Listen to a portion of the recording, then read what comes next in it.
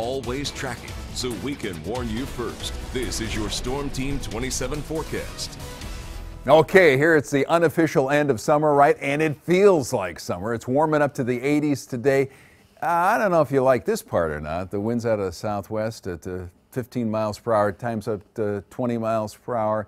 Ah, don't let that bother you. As long as you can be outdoors. That's not going to blow the fire out that you're doing your barbecuing on, is it? Uh, I hope not.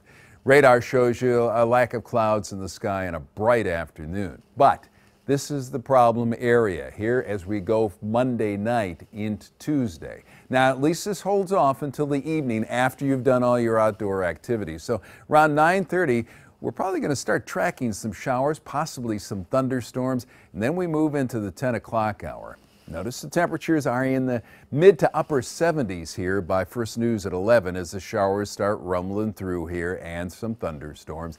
And those showers and thunderstorms are going to cool things off to the uh, at least uh, upper to mid 60s there. This is going to last through until about 1 o'clock, 2 o'clock, and then the main part of that storm should end. But during that time period, we could have a quarter to a half an inch of rain. Then we get into first news this morning, tomorrow morning.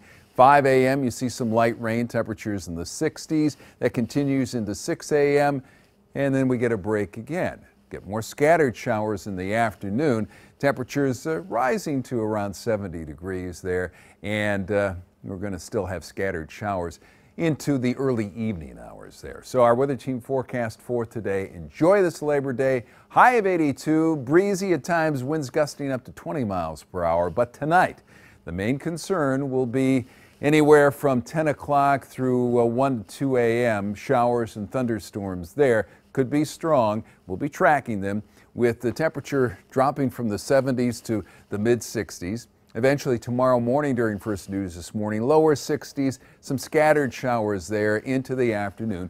Cooler high of 72 degrees, and it gets cooler yet as we get another chance of showers Wednesday into Thursday. High in the mid 60s. Notice the low in the 40s. And that continues through Thursday, Friday, even into Saturday there. But at least we're dry finally on Saturday, 66 the high, dry Sunday, 72 degrees, but a cool weekend. And then next Monday, dry and 74.